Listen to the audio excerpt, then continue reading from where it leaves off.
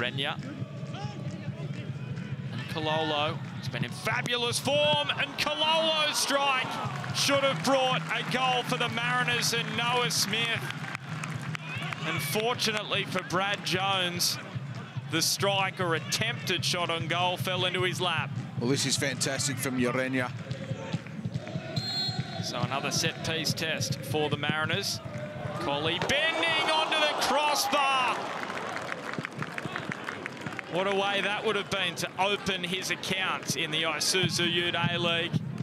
And you just sense Birighitti was a little bit slow to react to that. Didn't read the flight of the ball off the off the foot. And that was a penalty. Anyway, Colli finds Clisby down. He goes, penalty. It doesn't matter. They get one now, Perth Glory. Maybe there is some justice in the air in the West tonight. Saved by Birighitti in his hometown. That's big from Birighitti.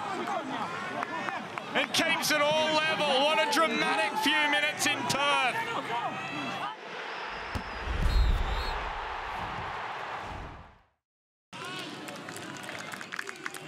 Very short turnaround from that clash with the Sky Blues on Saturday.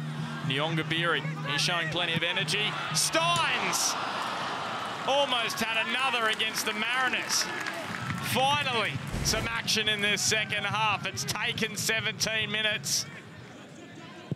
Little change up. Rawlins, Birighitti had to be sharp. And sharp he was.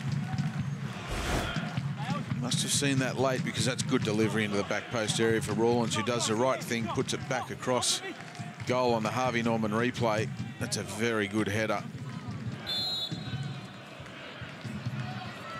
Seven already this year.